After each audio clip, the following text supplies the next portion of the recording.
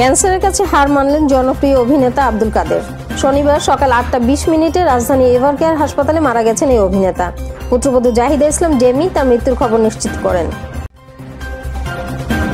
হেফাজতে ইসলামের আমির আহমদ শফিকে পরিকল্পিতভাবে হত্যার জন্য দুই দিন নির্যাতন করা হয়েছে বলে অভিযোগ উঠেছে।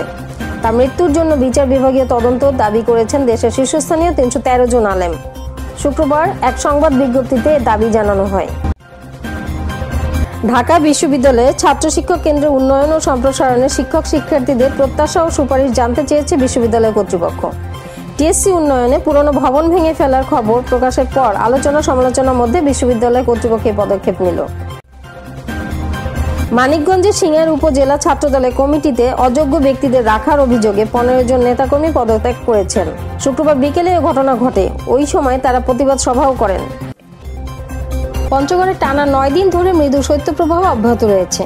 শনিবার সকালে সর্বনিম্ন আট দশমিক ছয় ডিগ্রি সেলসিয়াস তাপমাত্রা রেকর্ড করেছে তেঁতুলিয়া আবহাওয়া অফিস। শুক্রবার সর্বনিম্ন তাপমাত্রা ছিল আট দশমিক চার ডিগ্রি সেলসিয়াস। বড়দিন উদযাপনের মধ্যেই সংঘাতে জড়ালো ইসরায়েলি বাহিনী ও ফিলিস্তিনের সশস্ত্র গোষ্ঠী হামাস। প্রায় এক মাস পর উভয় পক্ষে পাল্টাপাল্টে হামলায় এখন পর্যন্ত কোনো হতাহতের খবর পাওয়া যায়নি। তবে বিমান হামলায় গাজার বাসিন্দাদের মধ্যে আতঙ্ক ছড়িয়ে পড়েছে।